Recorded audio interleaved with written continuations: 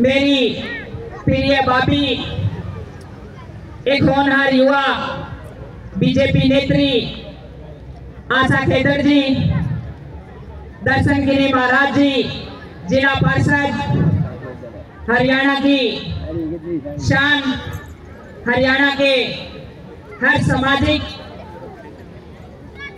माहौल पर गाने लिखने वाले, मेरे कहे देनी चाहिए रिश्तेदार।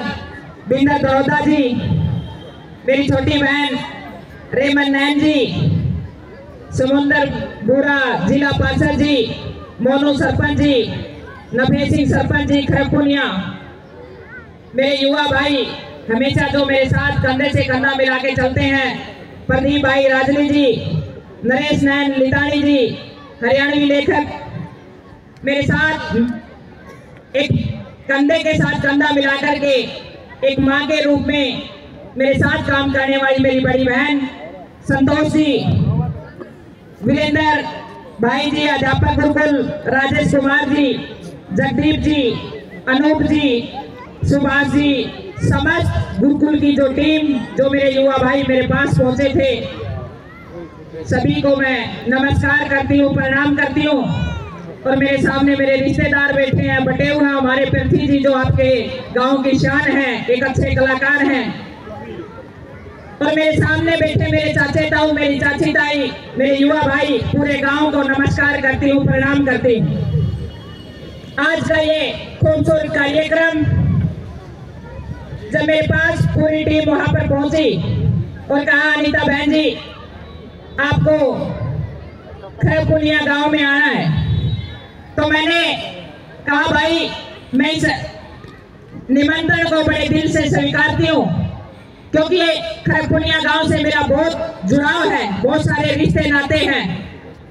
और गाँव की मिट्टी से मैं जुड़ी हुई हूँ।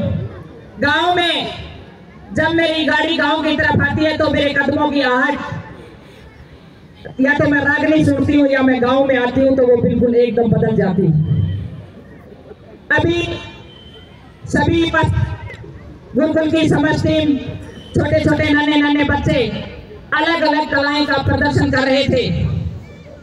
दो बहन यहाँ पर रागनी गा रही थी। युधिष्ठर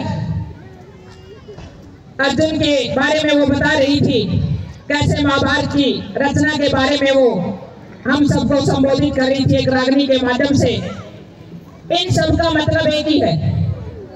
आज जो आयोजन अभी एक पत्रकार भाई मुझे पूछ रहा था, मैं सभी पत्रकार बंधुओं का भी दिल से नमस्कार करती हूँ। अभी पूछ रहा था कि बहन जी, ऐसे ऐसे आयोजनों से क्या बदलाव आता है समाज के अंदर? सबसे पहले तो मैं ये कहूँगी, ऐसे ऐसे आयोजन, ऐसे फ़ंक्शन बहुत ज़रूरी है, क्योंकि उससे हमारे को एक हौसला मिलता है, एक ताकत मिलती है, एक एनर्जी मिलती है। सबसे बड़ी बात इसके माध्यम से हम जुड़ते हैं। कोई भी फ़ंक्शन होते हैं, तीज त्योहार होते हैं, कोई भी कार्यक्रम होता है, उससे हमारा भाईचारा कायम रहता है। मैं हिंदुस्तान की बेटी हूँ, बड़े गर्व के साथ कहती हूँ मेरे हिंदुस्तान का दिल गाँव में बसता है, गाँव में बसता है, यहाँ से हमारी पहचान होती है।